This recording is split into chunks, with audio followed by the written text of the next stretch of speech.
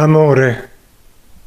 Eric Fromm, 1900-1980, in La società sana, 1955, dice Amore è l'unione con qualcuno o con qualcosa al di là di noi stessi, a condizione di conservare la rispettiva individualità ed integrità.